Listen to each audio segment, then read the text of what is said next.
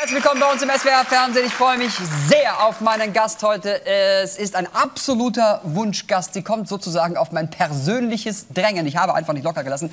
Und sie kommt gerne. Äh, und darüber freue nicht nur ich mich, sondern wir alle freuen uns sehr. Ich glaube, man darf das äh, sagen, wenn man dazu noch mal betont, dass man es wirklich lieb meint. Sie ist eine lebende Fernsehlegende.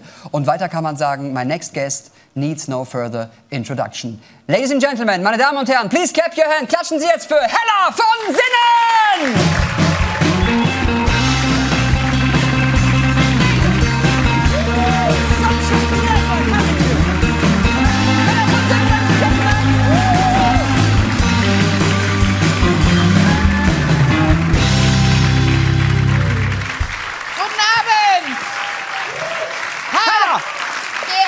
It is a pleasure.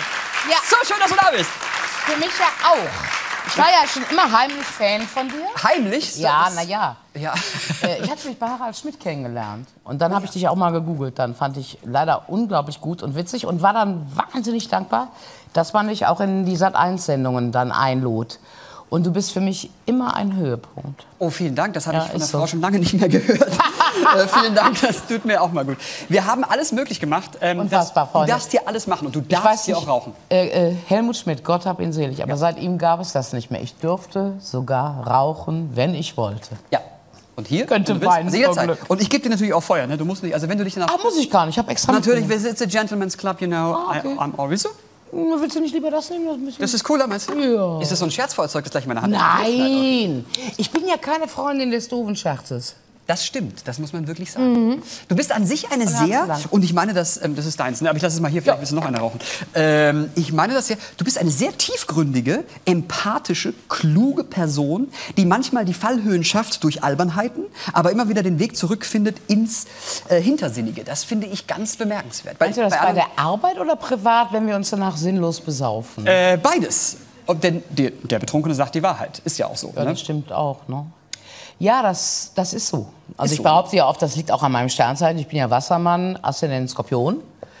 Also ich, ich neige zum Denken und zum Fühlen. Das, echt- implizieren die Sternzeichen. Also Wassermann ist ja Luft und, und das Skorpion ist Wasser. Äh, Wir neigen zum Denken. Ich habe eine gute, respektvolle Erziehung genossen und, ähm, und nehme alles eigentlich sehr ernst. Vielleicht nehme ich sogar manchmal zu ernst. Aber ist es nicht auch so, dass man immer sagt, der Clown, der weint oder so? Also ich glaube, wenn du eine oberflächliche Person bist oder die Dinge nicht ernst nimmst, kannst du eigentlich keine gute Komik machen, meines Erachtens. Und ich habe das bei dir auch feststellen dürfen. It's, it's a business you have to take serious, sonst funktioniert es nicht. Das stimmt. ja, ja. Und das Leben nehme ich auch ernst, nicht immer zu ernst, aber ich habe schon Respekt vorm Leben und ich habe großen Respekt vor, vor Menschen und tatsächlich Empathie ist einer meiner Kernkompetenzen. Absolut, Ja. absolut richtig. Und äh, wie sehr hast du es, weil es wird in deinem Zusammenhang, wenn man äh, Zeitungen liest, so oft der Terminus, es Du kriegst es auch nicht über die Lippen, dafür liebe ich dich. Ulknudel äh, genannt. Ich wurde auch schon Ulknudel genannt, die Ulknudel vom SWR. Auch, auch schon? ja, auch schon. Ja, und das ist nämlich eigentlich das, was mich eigentlich hätte trösten müssen, dass Männer auch so tituliert wurden. Ja. Dieter Hallervorden, Dirk Ja. Bach, Happe Kerkeling. Aber als ich das zum ersten Mal über mich hörte und ich dachte, in dem ersten Artikel über mich ständ vielleicht die Schauspielerin oder Komikerin oder was auch immer oder Studentin der Theaterfilme, da steht da Ulknudel und ich dachte, kann mal bitte jemand kommen. Also ich habe in meiner ersten Autobiografie geschrieben, das Wort ulkig finde ich unglaublich fad. Ja. Ne? Also etwas, wenn etwas ulkig ist, interessiert es mich nicht so. Es muss schreikomisch sein oder am besten oder kluger Humor sein. Und Nudel ist was zum Essen. Also was soll dieses Wort? Was soll dieses Wort für ernsthafte Humorarbeiter? Fühlst du dich missverstanden manchmal? Nicht mehr so. Ich werde ja jetzt im Februar 60. Und ich glaube, ähm, ich habe so viele unterschiedliche Dinge inzwischen auch tun dürfen, dass man mich ein bisschen ernst, ernster nimmt. Das glaube ich schon. Also das war ja tatsächlich so, als wir im April 88 mit Alles Nichts oder anfingen. Da war ich einfach nur dick. Am Anfang war ich ja noch gar nicht mal lesbisch. Ich war, glaube ich, erst ab 1990 dann offiziell Ah, lesbisch. Ja, nein, also ich war lesbisch, aber die Bunte rief mich irgendwann an. Die Bunte, die hatten so schöne Kolumnen. Leute von gestern, vorgestern und übermorgen, wie auch immer. Und für diese Kolumne rief man mich an und ich wohnte schon mit Dirk Bach zusammen. Und Dirk Bach hatte immer zu seinem Schwulsein gestanden und äh, das wusste die Bunte aber auch nicht. Die fragte, wann ich den Dirk Bach heiraten würde. Wie schön. Und daraufhin sagte ich, Freunde, das wird jetzt eher nicht so passieren, weil der Dicky ist schwul und, äh, und ich bin lesbisch. Oder ich sagte sogar tatsächlich, ich bin eine Urlesbe, ne? Im Ja. So mit ganz dicken Eiern. Hallo, ich habe es erfunden. Und, ähm, und dann schrieb diese Reporterin sehr, sehr aufgeregt, weil man hatte es damals wirklich noch nicht gehabt, dass eine äh, deutsche Unterhaltungskünstlerin äh, gesagt hat, übrigens, ich bin lesbisch. Also man, man wusste von Männern, dass sie schwul sind, dann stand dann immer da der Junggeselle. Ja, schön. Ja, Ja, ja, ja. Ein, sozusagen ein, ein Tarnwort für schwul. Und auf der Welt gab es nur Martina Navratilova, die dazu stand. Das war so, also als ich 17, 18, 19. Hast du eine Tür geöffnet dafür? Kannst, kann man da auch sagen, da hast du sozusagen. Also ich sag's ganz ehrlich und auch oft und gerne, das war nicht nur ich, weil bei mir war es irgendwie, ja gut, Wurscht, die ist eh übergewichtig, laut, die säuft gerne, die macht da beim RTL einen Quatsch. Ähm, äh, Cornelia Scheel hat diese Tür mit geöffnet, das muss man einfach so sagen, denn äh, ihre Mutter ist ja die Gründerin der Deutschen Krebshilfe und war First Lady, ihr Vater äh, Bundespräsident, vorher Außenminister. Und dann veränderte sich etwas. Natürlich stand dann überall ähm, die Schöne und das Biest. Ja. Ne, die Schüchterne und die Laute und so, diese Klischees, die wurden uns um die Ohren gepappert. Aber äh, äh, da kam dann wirklich, also wir haben danach tatsächlich Post bekommen von jungen Menschen, die sich bedankt haben. Die haben dann aber nicht gesagt, äh, Papa, Mama, ich bin so wie die Hella von Sinn, weißt du, von RDL mit den Torten. Die haben gesagt, äh, ich fühle genauso wie die Tochter eines ehemaligen deutschen Bundespräsidenten. Ja. Und, dann, und dann hatte das ein, andere, ein anderes Geschmäckler, sagt man hier. Ja, Geschmäckle sagt man überall. Das ist ja ein Aber. Geschmäckle ist, glaube ich, negativ, ne? Äh, Geschmäckle ist negativ, wenn es. Ja, ja, das stimmt eigentlich. Aber in diesem Fall. Nein, dann hatte das eine andere, also das, es war dann nicht mehr so schmuddelig, so pervers, so völlig grotesk. Also deswegen sage ich oft auch und gerne, dass das äh, Conny mehr eigentlich getan hat als ich. Natürlich war ich lauter tatsächlich, aber bei mir hat es, glaube ich, keinen interessiert. Dass Conny dazu gestanden hat, war ein toller Schritt und dafür nochmal heute danke, Conny Lerschel. Absolut richtig. I love your outfit. Ah, Honey. Love your outfit. Ah, mein Kostümbildner hat mir neue Jacken gemacht. Ich habe vier äh, Jacken. Du hast eh jetzt ein bisschen geändert. Bei Genial daneben hast du Weste und bist fast schon seriös. Und, aber der Overall-Style ist original, ne? Ungern korrigiere ich dich bei Genial daneben das Quiz. Das Quiz, Entschuldigung, richtig, ja. Denn der Produzent Richtig, rief mich richtig. an und fragte mich, möchtest du sehr viel Geld verdienen? Ich sagte, oh oh Gott, mit 60, warum nicht für die Rente? äh, und dann sagte er aber, ja, sie hätten aber eine Marktforschung gemacht. Und im Vorabendprogramm wollte man das Gelärme nicht so. Ist nicht wahr. Ist mein Ernst. Und dann sagte ich, ja, lieber Otto, sorry, aber wenn ich nicht lärmen darf, kann ich auch nicht in Overalls da sitzen. Dann muss ich mich verkleiden, weil ich bin ja auch heimlich Schauspielerin. Und jetzt habe ich ein Jäckchen und ein Westchen und eine enge Hose an und äh, Schuhwerk und versuche, gelingt mir nicht oft, aber Marianne Koch raushängen Ja.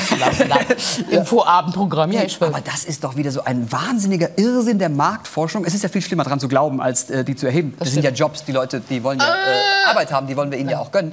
Aber zu sagen, Hella von Sinnen, die wir lieben, weil sie so ist, wie sie ist, die kann man doch nicht jetzt leiser machen und in ein Jackett. Es sieht gut an dir aus, aber man will ja diese Hella äh, im, im Fernsehen erleben. Die bist du natürlich auch. Ja, ich wollte gerade sagen, äh, aber manchmal ich muss ich dir ganz ehrlich sagen, also es sind ja so, wir haben 105 Dinger jetzt produziert Ja. und ich nehme die alle auf. Ernsthaft? Ja. Du guckst die auch immer an? Naja, ich komme natürlich nicht dazu. Wie soll, wann soll ich denn die Sendung alle sehen? Aber ich gucke die äh, mir zwischendrin an.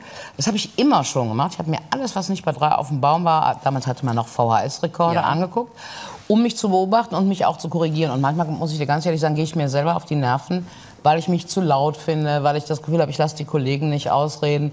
Und immer, wenn ich dann zwischendrin was gesehen habe, habe ich mich bemüht, ein paar Sendungen dann danach im Studio mich etwas zurückzunehmen. Ach toll, dann bist du ja tatsächlich sehr, sehr reflektiv. Weil viele sagen ja auch gar nicht, ich mach das nicht mehr, ich gucke das nicht mehr an. Ich gucke Ja, wenig an, auch zum Beispiel von mir. Ich äh, kenne kaum jemanden. Ich glaube, Bastian Pastewka guckt sich auch noch an. Aber Bastian Pastewka guckt ja alles an. Ja, der guckt ja auch wirklich unsere Sendung an. Der, der, der nimmt die ja mit seinem, weil natürlich niemand guckt diese Sendung zur Originalsendezeit, äh, aber er guckt, er nimmt die auf, er schreibt mir ab und zu und das Ja, ist also natürlich. größere Ehre gibt's gar nicht, ne? Geht mir ähnlich. Wenn er was sieht von mir und mir ein Lob macht, der Bastian ist äh, Gold, ja. Absolut richtig. Du bist auch Gold übrigens. Ach, du bist Äh, ein Schatz. Und ich möchte, äh, es- wurde noch nicht so oft gezeigt, aber ich möchte es unserem Publikum noch mal zeigen. Äh, Wir haben deinen ersten Fernsehauftritt da. Äh, den hast du natürlich auch schon gesehen. Das muss man ein bisschen erklären. Das war 1980. Du warst Praktikantin in der Sendung Ich stelle mich bei Klaus äh, Kas Hinrichs Kastorf. Moment. Ich Moment, war, Herr ich war als Studentin, du hattest die Wahl, Kabelträgerin zu sein oder Fotokopien zu machen. Ich machte Fotokopien. In dem Pool der Studenten, die für die Redaktion Monitor die Fotokopien machte. So. Ah, okay. Klaus-Hinrich Karsdorf moderierte Monitor und hatte dann so eine Sendung Ich stelle mich, wo Prominente kamen und wurden mit lustigen oder auch grotesken oder auch harten Streitgesprächen konfrontiert. Und Max Merkel, der österreichische Fußballtrainer, Gott Ja. hab ihn selig, war zu Gast. War auch mal Und Trainer des KSC. Pardon? War auch mal Trainer des KSC, Max Ah. Merkel. Ja, weiß ich, Fußball mein Thema. Gegoogelt. Wieder ein Beweis dafür, dass du nicht homosexuell sein kannst. Ich freue mich sehr. Ja, und dann, ähm, so, und der, der Karstorff hatte eine, seine, seine äh, Leib- und Chefsekretärin, Benedikta von Tubin. Und ich damals schon mit ganz großer Klappe überall erzählt, also ich werde Schauspielerin, ich will zum Fernsehen, bluppenblip. Und hatte eine große Klappe. Ich hatte diese Klappe so groß, dass ich Karin Lakusemann äh, am Telefon vertreten konnte mittags, durfte. Okay, cool. Wenn die zu Tisch waren oder sich so ein altes Brötchen nebenan beim Metzger geholt haben. Ja. Und das war so lustig, weil mein Englisch war auch noch so ganz schlecht. Und dann sprach ich auch mit London und New York. Und, naja, ich weiß nicht, was da alles in die Hose gegangen ist. Tatsache ist, die suchten jetzt eine Sparringspartnerin für Max Merkel. Eine, eine freche Frau. Und dann sagt die Benedikta von Turbin zum Caster, hier dieses Fräulein Kemper, die hat doch so eine große Fresse und die will doch Schauspielerin werden, lass uns doch die nehmen. Und dann habe ich mich von Oswin Schillmann schminken lassen, habe mir von Beate Rademacher ein Kostümchen geliehen und ich schwöre dir, die Aufnahmeleiterin, die mich so kannte, hat mich nicht erkannt, als ich dann für die Aufzeichnungen hinter der Britz stand. Gut, dass du sagst, weil das ist nicht die Hella, die so, so rumlief. Ne? Man, du bist verkleidet da, äh, kann man Ja, sagen. also ich trug zwar gerne auch High Heels und Ja. auch Lippenstift, aber never ever Kostüm, never. Aber es steht dir sehr gut. Ja, Also ich, ich habe tolle Beine. Deswegen hat Walter Bockmeier mich für Kiez inszeniert. Er hat Ja. gesagt, äh, äh, Nutten können dick sein, müssen aber gute Beine haben. So. Wir schauen uns jetzt mal die Beine von Hella von Sinnen an. Sehr, es, ist, gerne. es ist nur ein ganz kurzer Ausschnitt, damit Sie einen Eindruck bekommen. Wir können nicht das ganze Gespräch zeigen. Äh, damals waren die Sendungen ein bisschen, wie soll ich sagen, die haben sich mehr Zeit gelassen. Ja. Äh, wir, wir raffen das einfach nur, um einen Eindruck zu Okay. haben. Hier ist Hella von Sinnen 1980 in der Sendung Ich stelle mich mit Max Merkel. Ich komme aus Köln, ich bin den ersten Abend hier in Wien. Und haben Sie Bekannte hier? Oder Noch sind Sie, nicht. Noch nicht, oh schön. Sie waren überhaupt noch nie in Wien. Nein, Was haben Sie von Wien gehört bis jetzt, außer Schlechtes? die Männer sollen nicht uncharmant sein. Ich würde Ihnen doch raten, einmal so einen schönen heurigen Besuch zu machen. Mit, äh, Sie wissen nicht, wo... Haben Sie schon was gehört von Grinzing? Nicht Sie sollen zu ihr gehen, sondern Sie zu ihm. Ach, mischen Sie sich doch bitte nicht da ein. Haben Sie schon was gehört von Grinzing? Schön gleich mal dem Chef Konter gegeben. So Und hier, und in der. Anschluss, ich durfte rauchen. Ich durfte rauchen. Aber toll. Und ich sehe das und denke, das ist ein Ausschnitt äh, nicht von 1980, sondern äh, von vorgestern. Jetzt lügt es, dabei mag ich dich doch so. Okay. Alles nichts oder, liebe Hella, ist Ja. eine Sendung, die mich äh, im, als Fernsehen-Nerd geprägt hat. Ich möchte dir nur eins an dieser Stelle sagen. Ich habe mit deinem Redakteur oder einem deiner Redakteure, ich weiß es nicht, ich nenne ihn Herrn Oswald, er heißt aber ganz anders, telefoniert. Und habe diesem Redakteur gesagt, ich habe Pierre M. Krause getroffen und Pierre M. Krause hat behauptet, er hätte als Junge seinen Geburtstag gefeiert, Ja. hätte sich mit einer Fuchssäge Löcher in seine Tischtennisplatte geschnitten und hätte seine Eltern gezwungen, mit ihm alles nichts oder zu spielen. ja. Und Oswald sagte, das war eine Lüge. Nein, das war keine Lüge, das ist wirklich wahr. Und das, ich ich habe ich hab ein Nerdleben schon immer gehabt. Okay. Äh, das De- Desinteresse ähm, äh, äh, für mich weit entfernter Mädchen hat mich dazu geführt, meine Freizeit mit solchen Dingen äh, zu verbringen. Und ich habe, ich habe meinen Geburtstag, die drei Freunde, die ich hatte, eingeladen und habe alles nichts ohne nachgespielt. Wir haben die Spiele aus der Show nachgespielt und am Ende durften alle, das war das Highlight, tatsächlich Tischtennisplatte mir Torten ins Gesicht werfen. Und waren das aber echte Torten vom Bäcker? Nee, das waren selber gemachte äh, mit äh, Schlagsahne und so Tortenuntersetzern. ja, eben, weil das ist ganz wichtig. Bei der Probe zu Alles Ja. nichts oder, das ging im April los. Wir haben im März eine Probe gemacht. Da haben die wirklich echte Schwarzwälder Kirschtorten Oh. genommen, nur um den Effekt mal zu sehen und wie, der, wie, der, wie die Flugbahn der Tochter ist. Und ich hatte danach schwere Prellungen im Gesicht von den, von den Kirschen dieser Tochter. Und dann kam man dann lieberweise auf die Idee, mit Special Effect Leuten diese Dinger dann herzustellen. Diese Heute könnte man das nicht mehr machen. Du hättest sofort Ärger äh, am Hals, weil das Lebensmittel verschwendet. Das war damals noch fast viel schlimmer. Damals Ja? war ja noch fast ja noch bewusster, äh, die Kinder in Biafra oder wo auch immer hungern. Und dann musste ich ganz viele Briefe beantworten, dass es Rasierschaum ist und die Leute sollen sich gefälligst gepäcklich Aber halten. vielleicht hätten die sich auch gerne rasiert dort. Ne? Das ist dann auch Das äh, kann natürlich sein, ja. weil der Sozialneid ist ja doch, geht ja unergründliche Wege. So, habt ihr damals das Fernsehen re äh, äh, revolutioniert oder ist das nur so eine Mehr, so eine Glorifizierung, die man sich heute so erzählt? Ah, Es ist ja schwierig, über die, den eigenen Job zu sprechen. Ich sage Äh, ja. Da ich, da ich aber schon seit meinem sechsten Lebensjahr wirklich vorm Fernseher lag und ein Riesenfan von Kuhlenkamp, Fuchsberger, Karel und Frankenfeld und müssen wir nicht alle äh, äh, hier, äh, Hans Rosenthal. So, und Frauen, es gab, es gab Gisela Schlüter und ansonsten gab es Max Schauzer und Dagmar Berg, Berghoff. Berghoff, sag mal Berghoff. Ähm, es gab aber jetzt außer Gisela Schlüter keine Frau, die, die frech war oder eine eigene Show sogar hatte. Zwischenmahlzeit hieß ihre Sendung. Ich glaube, was wir revolutioniert haben, und auch da werde ich nicht müde, das zu sagen, das ist Hugos Verdienst, dass er hat eine Frau neben sich überhaupt die Karriere machen lassen. Das hätte damals, zum damaligen Zeitpunkt nicht ein anderer Kollege mich so laut, frech, dominant an seiner Seite werden lassen. Und der Balder hatte die nötige Gelassenheit. Ja. Der wurde teilweise von seinen Leuten angepumpt. Sag mal, was lässt du dir denn da von der Dicken da irgendwie so äh, die Butter vom Brot nehmen? Und er sagte, Kinder, was wollt ihr eigentlich? Hauptsache, es ist komisch. Also der Herr Balder kann sich unglaublich zurücknehmen, um äh, Pointen zu provozieren. Und er kann sich auf mich verlassen. Das stimmt. Deswegen provoziert er mich auch so oft bei Genial daneben, dass ich anfange zu schreien, weil er weiß, irgendwie kommt was dabei raus, was das Publikum dann auch liebt. Ihr kennt euch ja auch schon ewig. Er weiß natürlich auch, 30 welche Knöpfe- Jahre im April. Genau, genau, Ja. genau. Und auch die Sendung Alles Nichts oder feiert ihr 30-jähriges Jubiläum in diesem Jahr.